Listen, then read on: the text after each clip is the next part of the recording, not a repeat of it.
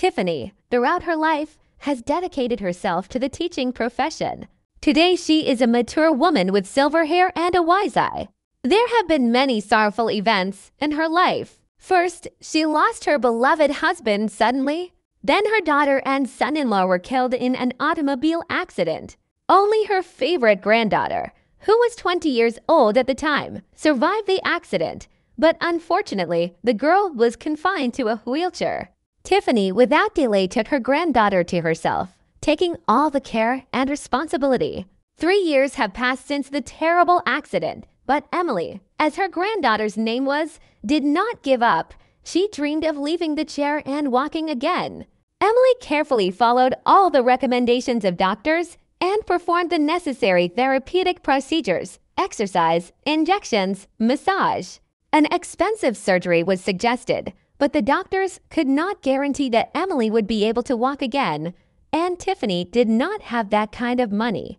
Today, Tiffany and her trusty friend Linda went for a morning walk in the park. They loved this park for its quiet alleys where they could enjoy the fresh air and pleasant conversation. After their walk, they planned to stop by the local store to buy some fresh produce. When they reached their favorite small bench by the pond, Tiffany noticed a young man sitting on it. He was sitting with his shoulders slumped, looking sad, seeming to be struggling to hold back tears. Tiffany's heart squeezed with pity for the stranger.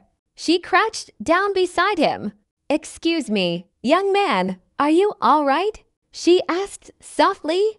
The man sighed and replied, I'm having a little difficulty. I just got out of detention yesterday. Don't be frightened. I didn't kill anyone.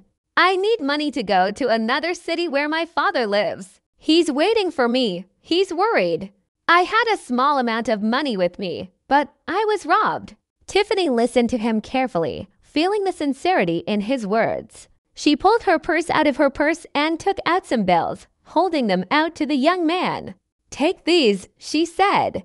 I hope it will be enough to get to your father. Thank you very much. I'll be sure to give it to you. The young man thanked her. My name is Mark. And what's yours? Mrs. Tiffany. Thank you, Mrs. Tiffany. As soon as I can, I'll be sure to pay you back, he thanked again and ran to the exit. Linda, who was watching, splashed her hands and started to scold her friend Tiffany. Why are you doing this? Look at him. He's lying to us. I don't believe him.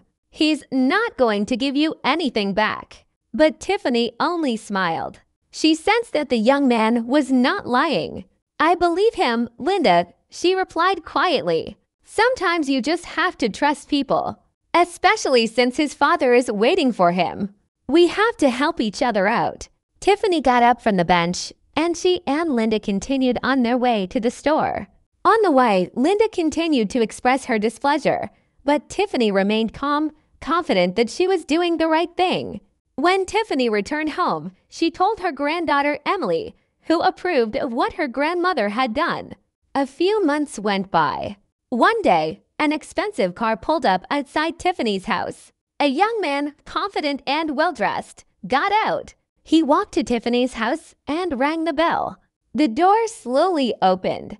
In front of him, a young woman with blue eyes sat in a wheelchair. Her blonde long hair touched her shoulders. The young man couldn't take his eyes off her face. Her eyes radiated kindness that they seemed capable of melting even the coldest heart. It was love at first sight. Hello, does Mrs. Tiffany live here? He said with difficulty. Emily smiled, nodded affirmatively, and called out to her grandmother. Tiffany came over, looked at her guest carefully, and remembered. Mark? Yes, that's me. Mrs. Tiffany, I'm sorry I didn't pay you back right away. I've had a lot on my plate lately. He handed her an envelope of money and a box of chocolates as a token of his gratitude. If it weren't for your eyes, I wouldn't have recognized you. Laughed the old woman. You look very decent. You put on a suit, shaved. It's a pleasure to look at you. Join us for dinner, Emily suggested, a little embarrassed. At the table that evening, Mark told his story of how he had ended up in prison, how he'd been falsely accused by a colleague he'd always considered a friend. This doctor, without Mark's consent, had taken a woman in for surgery who unfortunately died. To cover up his guilt in this tragedy, he forged documents and accused Mark. Mark was taken into custody during the investigation, but then they sorted it out and released him. Now Mark has returned to his former place of work at the medical clinic, where he is the head of the surgical department. I only talk about myself all evening. Please satisfy my curiosity. He turned to Emily, tell me, why are you in a wheelchair? I don't like to remember those events. Emily began to tell him, with sadness in her voice. My parents and I were in a terrible accident. They died on the spot, and I survived, but I can't walk. At first, it was hard for me to accept that fact, but now I'm used to it. I've learned to cope. Tiffany's my rock. Emily, may I see your medical records? Emily? I'm a doctor. Yes, of course, Emily replied. Tiffany gave Mark Emily's medical records. Over the next few days, Mark scrutinized them and consulted with colleagues. He returned to Tiffany and Emily with good news. The surgery was possible and he was ready to do it himself. Tiffany couldn't believe her ears. She looked at Mark with gratitude and hope. It would be a miracle, she said, squeezing his hand. But we don't have that kind of money. Don't worry about money, Mark replied confidently. I'll take care of everything. The important thing is that Emily gets a chance to recover. Emily, though touched by the offer, felt fear and uncertainty. She was used to her condition and was afraid of false hope.